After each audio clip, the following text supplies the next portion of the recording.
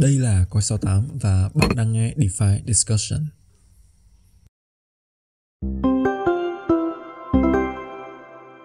Xin chào mừng tất cả các bạn đã quay trở lại với DeFi Discussion tập tuần này. Thì uh, trong tập tuần này có lẽ sẽ khác với mọi hôm một xíu. Uh, tập tuần này thì mình sẽ là host của cái uh, tập podcast uh, này, còn uh, anh Nguyên sẽ là vị khách mời của chúng ta ngày hôm nay.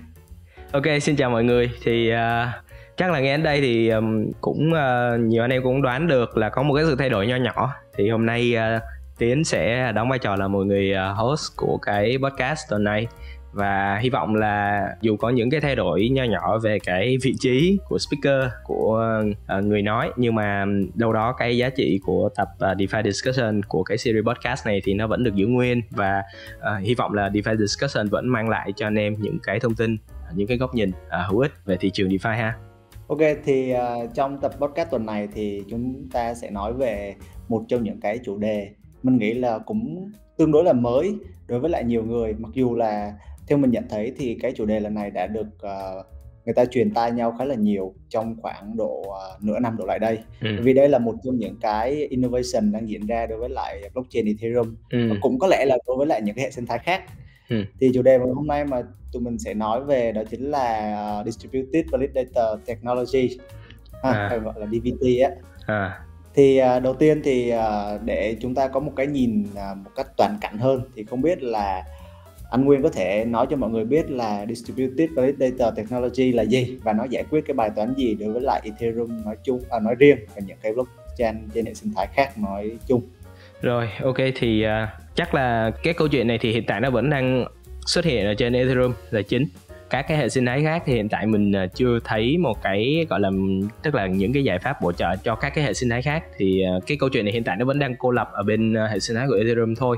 Thì đầu tiên á là chúng ta cần phải nói về cái vấn đề trước nói về cái lý do tại sao mà người, ta lại đẻ ra cái câu chuyện liên quan đến DVT đó là chúng ta biết là các cái giải pháp uh, staking hiện tại ở trên Ethereum thì à, đâu đó nó vẫn sẽ gặp những cái rào cản. Rào cản về cái số lượng ethereum tối thiểu mà người dùng phải stake vào này, rồi à, rào cản về những cái phần cứng và những cái setup ban đầu. Nó khá là phức tạp thì những cái người dùng phổ thông thì họ cũng không thể nào mà gọi là dễ dàng tiếp cận được với cái hình thức staking này. Thì đâu đó tầm một năm đổ lại đây thì chúng ta thấy là các cái giải pháp liquid staking họ cũng phần nào giải quyết được cái vấn đề đó. Tức là người dùng cứ đem ethereum vào gọi là ủy quyền cho các cái đơn vị liquid staking và nhận về những cái giấy chứng nhận à, gọi là liquid staking token. Thì cái giải pháp này nó phần nào giải quyết được cái vấn đề đó. Tuy nhiên á là à, chúng ta thấy là Lido Finance chẳng hạn thì à, khi mà một cái lượng lớn Ethereum à, tập hợp ở trên cái giao thức này thì đâu đó nó phát sinh ra một cái rủi ro về mặt à, tức là người ta lo ngại thôi à, về mặt bảo mật là cái giao thức này nó có thể bị à, tấn công hay sau đó. Nó sẽ khiến cho các cái validator ở trên mạng lưới này nó bị à, gọi là bị thất thoát tài sản chẳng hạn hoặc là có một cái hiện tượng mà nó nó phổ biến hơn thời gian gần đây đó là cái slashing tức là các cái validator họ không thể gọi là uh, hoạt động à, uh, 24 trên 7 À, người ta hay dùng cái từ là inactive á. Thì khi mà inactive như vậy thì không có tham gia ký các cái ký xác thực các cái giao dịch đầy đủ ở trên cái mạng lưới thì uh, cái validator sẽ bị slashing hiểu nôm na là sẽ bị gọi là bị phạt tiền thưởng. Uh, thì thì đâu đó nó cũng sẽ ảnh hưởng rất là nhiều đến cái yield cái lợi nhuận mà người dùng stake ethereum uh, có thể hưởng được. Thì đây là cái vấn đề nó phát sinh khi mà một cái lượng ethereum nó tập trung vào một cái giao thức. Thì đó là lý do tại sao mà người ta mới nghĩ ra một cái uh, giải pháp. Uh, thì thì nghe cái tên này nếu mà anh em phân tách ra từng cái từ á, thì cũng biết là uh, cái giải pháp này cái hướng đi của họ là như thế nào. Thì cái từ distributed validator có nghĩa là nó sẽ phi tập trung cái validator ra. Uh, và uh, từ đó nó sẽ giảm thiểu cái rủi ro về về mặt gọi là an toàn bảo mật. Và cái thứ hai nữa là nó sẽ đảm bảo cái tính active cho các cái validator để giúp cho cái cái lượng yield mà người dùng có thể thu về nó uh, nó ổn định và nó không bị ảnh hưởng quá nhiều. Yeah, thì thì đó là uh, brief sơ nhất về cái cái giải pháp uh, distributed validator technology này thì uh, tức là nói về cái khái niệm thì nó nghe nó rất là ghê gớm nhưng mà khi mà chúng ta đi vào những cái vấn đề hoặc là đi đi vào từng cái uh, giải thích từng cái từng từ ngữ uh, cụ thể thì uh, anh em thấy là nó cũng rất là gọi là có cái móc móc xích với nhau nó cũng có liên hệ với nhau là như vậy. Dạ yeah, ok thì đúng là theo như những gì anh Nguyên nói một trong những cái rào cản uh, khá là lớn ở thời điểm hiện tại đối với lại cái uh, các validator uh, của cái uh, lớp đồng thuận của Ethereum. Đó chính là thứ nhất là việc mà trở thành một cái validator là với một cái lượng là 32 ETH uh, ở thời điểm hiện tại vẫn là một con số tương đối lớn đối với lại là phần lớn những cái retail cũng như là cái việc mà à, tình trạng mà khi mà mình ví dụ rất là khó để việc có thể mình có thể đảm bảo là việc mà mình phải active 24 trên 7 chẳng hạn ừ. đó thì tình trạng computer sẽ trở nên rất là phổ biến và như là trục chặt máy móc rồi cúp điện rồi nhiều rất là vân vân thì uh, những cái lúc mà trạng nó xảy ra thì cái nguy cơ dẫn đến slash tức là nó sẽ rất là nhiều và ảnh hưởng tới cái nguồn vốn của chúng ta ừ. thì đó là một trong những, những cái rào cản em cũng thấy là tương đối lớn đối với lại những cái validator ở thời điểm hiện tại ừ. Ok, thì đó là những cái gì mà đang diễn ra đối với lại uh, Ethereum uh, Consensus Layer cũng như là tại sao mà chúng ta lại cần DVT. Vậy thì uh, theo anh, anh Nguyên Hải giải thích xem là một cái DVT thì nó sẽ hoạt động như thế nào? Rồi thì uh, cái chỗ này thì có thể nó sẽ hơi uh, nó sẽ hơi tét một xíu và nó sẽ hơi rối một xíu ha. Thì chắc là mình sẽ giải thích một cách đơn giản thôi đó là một cái validator thì họ sẽ có một cái key tức là một cái chữ ký chẳng hạn. Thì uh, khi mà tham gia à, gọi là xác thực vào mạng lưới thì cái chữ ký này nó sẽ gọi là đóng vai trò là cái chìa khóa để họ tham gia vào xác thực các cái giao dịch à, xác thực cái các cái block thì bây giờ với cái DVT này thì người ta sẽ chia nhỏ cái chữ ký đó ra. Đó hiểu hiểu nôm na là vậy. Và mỗi cái phần của cái chữ ký đó nó sẽ phân bổ cho các cái nốt uh, ở trong một cái uh, người ta gọi là một cái cụm. Mà tiếng Anh nó có cái từ là cluster. Thì để cho anh em nào uh, đọc các cái tài liệu ở tiếng Anh thì có thể dễ dàng tìm hiểu. Thì cái cụm này nó sẽ gồm các cái nốt và mỗi nốt này nó sẽ hưởng một cái phần của cái key uh, gốc uh, của cái validator. Thì cái cụm này á nó sẽ có một cái nguyên tắc để quản trị thôi. Thì nó cũng giống như cái cách mà cái ờ, ví đa chữ ký nó hoạt động á.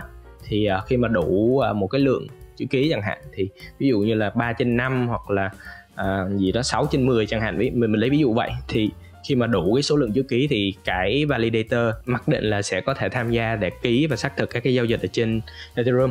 Thay vì á, là hồi xưa nếu ví dụ như uh, cái validator đó nó để ở một chữ ký thôi. Nó chỉ có một chữ ký duy nhất thôi nó không phi tập trung cái chữ ký đó ra. Thì ví dụ như là cái đơn vị validator đó họ không active hoặc là họ không ký ngay á, thì thì nó sẽ ảnh hưởng đến cái hiệu quả nguồn yield chẳng hạn. Còn ví dụ như phi tập trung cái chữ ký ra thì chỉ cần một vài ông ký thôi tham gia hỗ trợ lẫn nhau chỉ cần một vài ông ký thôi. Ờ, một ông có thể một hai ông bỏ không ký chẳng hạn thì nó vẫn đạt đủ cái chỉ tiêu multisig chẳng hạn thì à, thì thì cái chữ ký đó vẫn được thông qua và cái validator đó vẫn được xem là đã tham gia vào xác thực mạng, mạng lưới. Thì uh, cái chữ ký này nó phi tập trung ra thì nó cũng sẽ giảm thiểu được cái rủi ro bị tấn công cho validator. Uh, có một cái vấn đề nữa mà ít người nói đến đó là cái câu chuyện liên quan đến uh, client uh, client diversity tức là cái độ gọi là đa dạng của các cái client các cái phần mềm để vận hành validator thì uh, cái DVT này nó cũng sẽ hỗ trợ cái đó luôn. Thì nếu như mà anh em mà theo dõi uh, DeFi discussion những cái tập trước đây liên quan đến cái hiện tượng mà Ethereum nó bị uh, ngưng tạm ngưng xác thực á thì bọn mình cũng từng có một cái tập liên quan đến câu chuyện đó thì anh em có thể tìm lại đó là chuyện gì xảy ra với Ethereum. Thì trong cái buổi hôm đó thì có thể hiểu là vì một cái phần mềm nó gặp trục trặc, à, phần lớn các cái validator nó không tham gia ký xác thực được thì nó ảnh hưởng đến cái quá trình vận hành của mạng lưới. Thì cái ờ, công nghệ DVT này nó cũng sẽ gọi là nó phân bổ cái phần mềm ra một cách nó đồng đều hơn để từ đó nó giảm thiểu cái sự phụ thuộc vào một cái client một cái phần mềm nhất định. Thì nó cũng gọi là nó cũng phần nào nó bổ trợ cho cái mạng lưới chung khá là nhiều ha. Thì um, nói lên lao một xíu thì nó là cái câu chuyện liên quan kỹ thuật. Nhưng mà hy vọng là mình giải thích như vậy thì nó đủ gọi là đơn giản để làm sao để anh em hiểu được cái chi tiết một cách nó rõ ràng nhất để có thể gọi là mình không bị cái khái niệm công nghệ nó nó đánh lừa chẳng hạn nó nó làm cho mình bị quá là hay à, khi mà chúng ta đào vào những cái chi tiết nhỏ như thế này thì chúng ta sẽ có được cái hiểu nó cụ thể hơn và chúng ta sẽ có cái góc nhìn nó khách quan hơn về cái khái niệm mới này. Dạ yeah, ok. Nếu những gì mà anh Nguyên nói thì em có thể nói lại một cách ngắn gọn những cái gì mà À, uh, DVT tức là Distributed Validator Technology đem tới cho Ethereum. Bởi vì thứ nhất là nói một cách đơn giản thì nó loại bỏ cái thứ gọi là single point of failure của Ethereum. Bởi vì cái vấn đề này thì nó có thể là hứa hẹn là sẽ mở ra một cái quỹ nghiên với lại sự bùng nổ của cái việc mà càng ngày càng có nhiều validator cho Ethereum hơn chẳng hạn. Bởi vì càng ngày cái rào cản nó được hạ bớt mà. Chúng ta có thể thấy là ở thời điểm hiện tại là đang Ethereum đang có khoảng à, mình nhớ không nhầm là gần 900 ngàn validator ở thời điểm hiện tại thứ hai là theo em thấy là cái việc mà uh, rủi ro slashing rõ ràng là rủi ro slashing có thể uh, uh, giảm rõ ràng là được giảm. Cùng theo đó là cái uh, những cái phí bảo hiểm dành cho cái việc mà bị slashing này có thể là cũng sẽ giảm theo. Ừ. và cuối cùng cái DVT có thể mang tới cho Ethereum đó là có thể cái lượng nốt có thể vận hành trên các máy tính có thể tăng lên tức là nó tối ưu được cái phần cái phần cứng của máy tính vừa tiết kiệm được cái chi phí mà mình phải bỏ ra cho cái phần cứng này à, thì đó là những cái thứ mà có thể em nghĩ là rõ ràng nhất đối với lại những gì mà DVT có thể mang lại đối với lại ở góc nhìn là một retail muốn trở thành một cái validator trên Ethereum.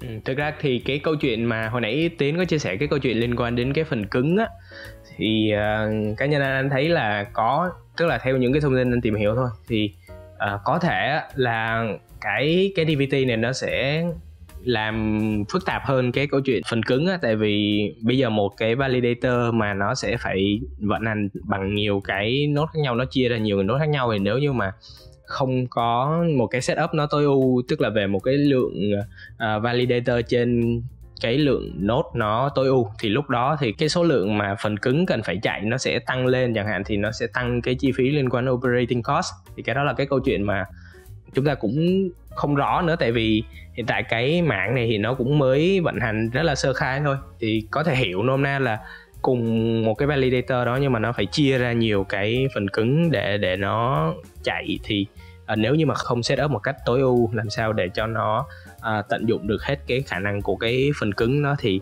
à, có thể đây đây nó lại là một cái vấn đề nó làm trầm trọng hơn cái câu chuyện là à, phần cứng. À, chúng ta thấy á, là trong vài tháng gần đây á, thì uh, Vitalik Buterin cũng có chia sẻ một cái câu chuyện liên quan đến single slot finality.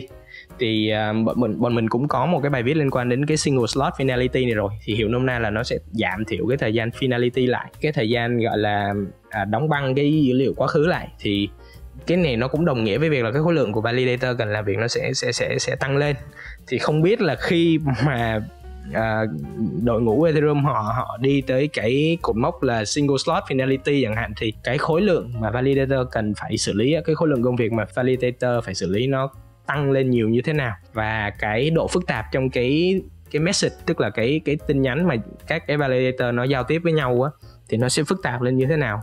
Thì uh, hiện tại chúng ta không biết được cái câu chuyện đó và nếu như mà nó phức tạp hơn về cái khối lượng tin nhắn mà phải gửi mà các cái nốt này nó còn phi tập trung ra thêm một lớp nữa thì anh thực sự là anh cũng chưa hình dung được là nó sẽ là cái tốt hơn hay là cái gọi là cái hại hơn cho cái mạng lưới chung thì đó là cái nhận định của anh về cái câu chuyện là cái mà DBT nó có thể mang lại hoặc là nó có thể làm trầm trọng hơn vấn đề ừ. nói chung là nó sẽ có nhiều những cái ờ, vấn đề khác nhau đúng không Nguyên ừ. đúng rồi tại vì nó phải phụ thuộc vào rất là nhiều những cái cập nhật về sau này nữa của Ethereum thì uh, cái đó chúng ta phải theo dõi thôi tại vì đội ngũ Ethereum thì họ cũng uh, họ cũng build chưa tới cái cái cái ngưỡng đó họ vẫn đang gọi là hiện tại ở thời điểm hiện tại thì họ đang tập trung nhiều cho cái layer 2 cái 4844 nhiều hơn. Dạ thì đó là cái câu chuyện của tương lai thì chúng ta phải theo dõi thôi chứ cũng không thể nào mà đưa ra được cái cái kết luận ngay ở thời điểm hiện tại về cái tiềm năng của cái mạng DVT được. Dạ. Yeah. Ok. Thì uh, tới một cái vấn đề tiếp theo, cái ừ. câu chuyện tiếp theo thì đó chính là câu chuyện liên quan tới Lido Finance à, thì à, đang có một cái đề xuất được thông qua trên cái à, protocol này đó là việc thử nghiệm cái công nghệ là valid, distributed validator technology. Với sự hợp tác cùng hai cái dự án theo em đánh giá có lẽ là đang đi đầu về cái lĩnh cái lĩnh vực này đó, đó là Open Network với lại là uh, SV Network. Ừ. thì mặc dù đến cái giai đoạn thử nghiệm này thì cũng chỉ giới hạn ở trong cái phạm vi là khoảng 0,5% cái TVL trên uh, Lido Finance thôi nhưng mà theo anh à, Nguyên nghĩ thì uh, với lại những cái bước đi đầu tiên như vậy á thì uh, cái công nghệ uh, DVT này sẽ có khiến cho các LS, uh, các liquid staking protocol có được uh, hưởng lợi gì không? Ví dụ như Lido Finance hoặc là những cái LSP nhỏ hơn khác chẳng hạn. Ừ. Ok, thì uh, đầu tiên nói về cái uh, hưởng lợi đi. Thì uh, chắc chắn là nó sẽ nó sẽ có và nó sẽ là một cái liều thuốc để gọi là uh, làm giảm cái áp lực từ phía dư luận. Bởi vì chúng ta thấy là Lido đang bị gọi là pressing trên rất là nhiều diễn đàn khác nhau. 33% tổng lượng ETH được stake trên Lido Finance đúng không? Đúng rồi. tức là cái cái DVT này nó là một trong những phần trong cái lộ trình để phi tập trung cái quản trị của trên Lido. Thì nó còn rất là nhiều các cái uh, mục khác. Thì DVT này nó là một cái phần ở trong cái cái lộ trình đó của họ thì có thể nó sẽ là một cái uh, gọi là một cái chấn an uh, về về dư luận chẳng hạn. Rồi thì cái đó là cái đầu tiên. Uh, cái thứ hai là về mặt uh, yield đi thì rõ ràng chúng ta thấy là Lido lâu lâu thì họ cũng bị slashing. Dù là cái lượng tiền mà Ethereum và bị slash á thì nó cũng không quá nhiều và bản thân Lido họ cũng có một cái quỹ để dự phòng để bù bù lại cái phần ETH mà nó bị trừ tiền đi á bị bị phạt á thì họ cũng có một cái phần quỹ để sẵn ra rồi. Tuy nhiên là ừ, gọi là quỹ bảo hiểm á có quỹ bảo hiểm. Đúng rồi. À, tuy nhiên là có tức là slashing là có và à, điển hình nha là nếu như mà anh em theo dõi uh, uh, cái mạng lưới Ethereum vài tuần gần đây á có thấy một cái đợt mà gọi là mass slash tức là đâu đó khoảng gần 100 cái validator nó bị slash. Uh, thì slash liên tục luôn. Thì uh, có một cái trường hợp là có ông bị slash xong xong rồi chạy lại validator lại bị slash tiếp. Đó thì thì thì đây là cái hiện trạng nó nó xảy ra ở trên Ethereum là có. Cho nên đó là cái giải pháp mà DBT họ mang lại thì có thể giảm thiểu được cái rủi ro liên quan đến bị tổn thất về mặt lợi nhuận đó cho Lido thì cái đó là về cái lợi về mặt uh, sản phẩm về mặt kỹ thuật về mặt uh, doanh thu thì là có. Tuy nhiên nói đi cũng phải nói lại thì cái thử nghiệm hiện tại của Lido với cái công nghệ này thì nó nó khá là thấp. Và rõ ràng là chúng ta cũng không biết là cái mức mà Lido Finance họ sẽ cho phép tức là cái target cái tỷ trọng target cho cái mạng DVT này nó sẽ là bao nhiêu. À, bởi vì cái cái tỷ trọng đó theo những cái đề xuất của Lido thì nó sẽ được nâng lên nhưng mà nó phải thông qua một cái vote down. Và chúng ta không biết được là cái cái mức target nó sẽ đi về đâu á. Tức là tại vì nó phải thông qua một cái đao à, ờ, thì thì lúc đó thì chúng ta cũng uh, gọi là đoán mò thôi đúng không? Tức là chúng ta biết là ở, ở thời điểm hiện tại nó là 0,5 phần trăm nhưng mà trong tương lai nó là bao nhiêu phần trăm thì chúng ta không biết. Thì chúng ta phải theo dõi cái uh, những cái vote đó. Thì uh, à, ví dụ như nếu mà nó có mang lại lợi ích nhưng mà mấy ông giới hạn nó ở một hai phần trăm thì nó cũng chả bỏ đúng không? Nó, nó vẫn là nó vẫn là cái câu chuyện mà những cái uh, node operator nó nó gọi là thân ở trong cái cái cái hội đồng của Lido họ vẫn vận hành cái mạng lưới như cũ thì nó cũng chả giải quyết được vấn đề bao nhiêu đúng không? Nếu như mà mọi người giới hạn cái DVT nó ở một hai phần trăm chẳng hạn thì nó cũng không không quá uh, hiệu quả thì thì đó là cái đề ngõ về cái sự hiệu quả mà DVT nó có thể mang lại cho các cái giao thức uh, liquid staking là như vậy. Uh, tuy nhiên là nó cũng là một cái thông tin khá là tốt tức là chúng ta có thể theo dõi cái mạng này nó có giải quyết vấn đề uh, và nó có cái logic của nó chứ không phải là một cái gì đó nó nó nó pop up và người ta gọi là uh, siêu cái narrative liên quan nó. Thì nó có cái vấn đề và nó có cái giải pháp để xử lý thì cái cái đó là cái mà chúng ta có thể neo vào và theo dõi. Dạ yeah, thì đúng là ở góc độ là uh, một cái validator thì rõ ràng là cái việc mà triển khai DVT thì sẽ giúp các ờ, uh, liquid staking protocol sẽ không phải lo về những cái thời gian downtime hoặc là bị rủi ro slashing bởi vì nó sẽ giảm tương đối là nhiều. Bởi vì uh, khi mà một cái nốt bị offline thì gần như là sẽ có một cái nốt khác có thể vào thay thế hoặc là sẽ uh, sử dụng uh, tức là sẽ không cần tới cái vote của cái nốt đó để có thể thông qua được cái việc mà propose lên các validator. Thì nói chung là nó sẽ giảm được những cái rủi ro kiểu uh, sát như vậy. Ok rõ ràng là sẽ có rất là nhiều những cái mặt uh, gọi là lợi ích của những cái của cái công nghệ DVT này đối với lại uh, các uh, ASP và những cái validator à, những cái người uh, chạy nốt ấy. thì uh, theo anh Nguyên thì đâu sẽ là những cái rủi ro và hạn chế của cái việc mà triển khai những cái DVT này ở thời điểm hiện tại? Ừ. Thì à, hạn chế thì chúng ta cũng có thể gọi là như hồi nãy có loáng thoáng đề cập đó là cái câu chuyện liên quan đến cái vận hành à, cái cái nốt làm sao để setup làm sao để cho nó tối ưu à, tại vì chúng ta biết là nó là theo cái à, hình dung là theo cái tổ hợp đi trộn các cái nốt với lại các cái validator khác nhau nó nó là theo cái hình dung là theo cái tổ hợp. Và nếu mà cái tổ hợp nó không được set up một cách tối ưu thì cái chi phí nó sẽ bị đội lên. À, đó là cái thứ nhất là cái liên quan đến uh, operating cost tức là cái chi phí vận hành.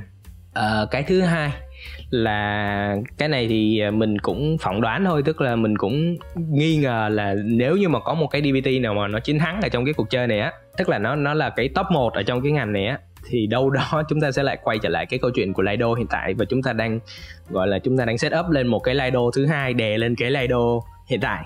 Đó thì thì có thể là sẽ cần phải uh, rất là cẩn thận trong cái câu chuyện đó. Chứ nếu như mà chúng ta gọi là đi giải quyết cái vấn đề phi tập trung cho Lido xong rồi chúng ta lại tạo ra một cái điểm một cái giao thức mới nó lại tập trung hơn nữa thì thì lúc đó nó sẽ nó sẽ rất là cồng kềnh cho cái mạng lưới chung. Đó thì thì đó là cái rủi ro thứ hai. À, mình disclaimer luôn là cá nhân mình phỏng đoán thôi.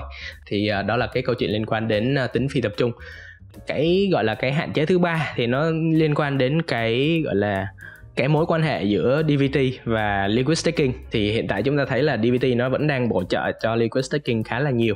Tuy nhiên đó là chúng ta không biết được là trong tương lai thì uh, các cái giao thức liquid staking họ có gọi là họ có tích hợp ngược hay không? Tức là họ họ ăn luôn cả cái phần bánh của DVT hay không? Thì chúng cái này chúng ta cũng không biết tại vì rõ ràng là họ đã có những cái hạ tầng cụ thể rồi. Uh, họ đã có những cái hạ tầng liên quan staking cụ thể rồi và việc họ gọi là vertical integration đó, nó có gọi là cái thâu tóm ngược á, thì uh, cái rủi ro đó có thể nó vẫn xảy ra. Nói một cách hình dung là cái mối quan hệ giữa các cái liquid staking protocol và các cái giao thức ờ, uh, DVT các cái giao thức uh, staking phi tập trung thì nó sẽ chuyển từ cái mối quan hệ là cộng sinh hỗ trợ cho nhau thành cái mối quan hệ gọi là cạnh tranh lẫn nhau chẳng hạn. Thì thì cái mình nghĩ là cái rủi ro đó vẫn có thể xảy ra. À, đối với các cái giao thức DBT thì nếu vậy thì họ sẽ phải có những cái chiến lược nó khác hơn một xíu để phòng ngừa cái rủi ro bị gọi là bị thâu tóm ngược như vậy. Thì à, yeah, đó là cái uh, một vài cái gạch đầu dòng một vài cái liệt kê của mình liên quan đến những cái rủi ro mà có thể diễn ra với cái mạng thị trường này. Yeah, dạ, thì uh, rõ ràng đó là những cái hạn chế mà uh, việc trong việc triển khai những công nghệ DBT ở thời điểm hiện tại. Còn uh, nói chung là về mặt lợi ích thì chúng ta đã nói khá là nhiều lần trong tập ngày hôm nay rồi. Rõ ràng nó giảm cái rủi ro slashing đối với lại các uh, validator này rồi nó giảm cái cái rào cản cho những cái retail để có thể trở thành một cái validator trên Ethereum chẳng hạn. Ok thì uh, mình sẽ nói chốt lại một cái tập podcast ngày hôm nay như thế này. Thì theo quan điểm cá nhân của mình á ở cái thời điểm hiện tại thì uh, hầu hết những cái blockchain layer one đang có xu hướng gọi là chuyển dịch sang proof of stake hoặc là những cái blockchain mới cũng đa phần là proof of stake. Thì uh, sẽ không tránh khỏi những cái việc mà phát sinh những cái nhu cầu giống nhau giống như là việc staking này DVT này các liquid staking protocol này kiểu vậy. À, bởi vì là cái bản chất của Ethereum nó ở thời điểm hiện tại blockchain Ethereum vẫn tương đối là kém linh hoạt. Đó theo một quan điểm của mình là như vậy. Thì uh, thì đây sẽ là một cái trong số những cái lĩnh vực gọi là ừ. tương đối mình nghĩ là có cái tiềm năng phát triển cái cái cái dư địa để phát triển rất là lớn trong cái ngành công nghiệp blockchain này. Ok thì có lẽ là tập podcast lần này đến đây là kết thúc rồi. Rất cảm ơn anh Nguyên về cái buổi chia sẻ ngày hôm nay. Rồi ok. À, cảm ơn anh em đã dành thời gian à, nghe đến hết những cái giây cuối cùng của DeFi Discussion tuần này. Thì à, hy vọng là cái thông tin tuần này thì à, nó hơi nặng về technical một xíu. Tuy nhiên là đâu đó nó vẫn nó vẫn gọi là liền mạch và nó vẫn dễ để hình dung cho các anh em à, đang theo dõi DeFi Discussion và hy vọng là chúng ta sẽ có cơ hội để gặp lại nhau trong DeFi Discussion tuần tiếp theo để có cơ hội cùng chia sẻ với nhau những cái những cái thông tin thú vị những cái điều mới mẻ về thị trường ha. Rồi thì à, không biết nói gì hơn cảm ơn anh em à, một lần nữa.